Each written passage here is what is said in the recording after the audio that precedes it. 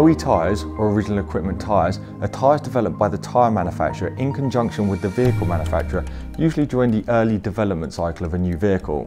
During this cycle, the tyre manufacturer has to look at various different aspects of a tyre's performance and how it affects the intended vehicle.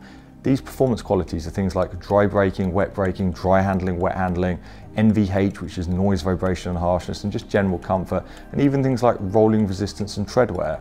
These development cycles can be very long, usually two to three years.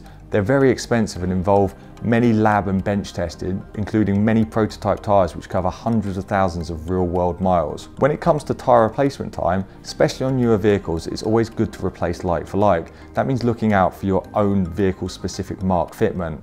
These are things like a star marking for BMW, MO for Mercedes, AO for Audi, and various different other mark fitments for various manufacturers. If you can't find the correct mark fitment for your vehicle, your tyre retailer will be able to guide you in the right direction.